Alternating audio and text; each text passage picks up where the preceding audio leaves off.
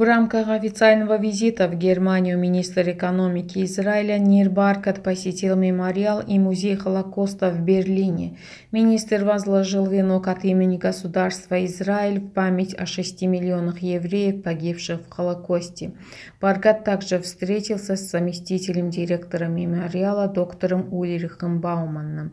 Сообщается, что израильский министр также принял участие в церемонии, посвященной 51-й годовщине трагедии с израильскими спортсменами на Мюнхенском Олимпиаде.